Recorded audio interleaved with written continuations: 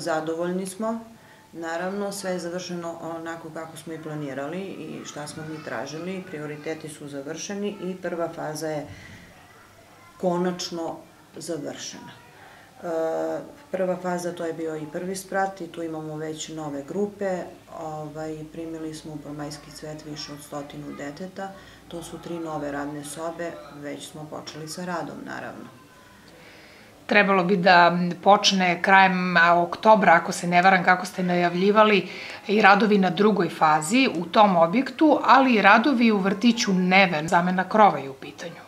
Jeste, sad u petak krećemo, ovaj, dolaze nam izvođači i krećemo na vreme i zamenu krova u vrtiću Neven. Ja mislim da će jedno 15 dana da traju radovi, to neće nikoga da remeti, naravno, rad sa decom, sve je obezbeđeno, sve smo se dogovorili, jer mi smo osetljiva populacija, naravno, unapred pripremamo planove za sve što treba da se radi u toku godine dok nam deca borave u vrtiću.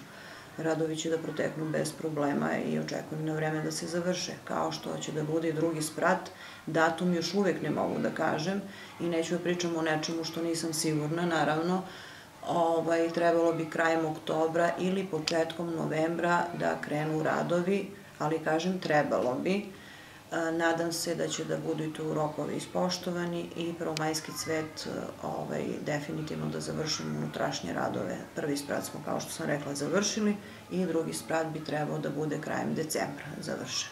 Isto i tu ovaj, obezbeđeno je, deca bit će bezbedna naravno, otvorit ćemo drugi ulaz za jutarnju primanje dece, za ispraćaj.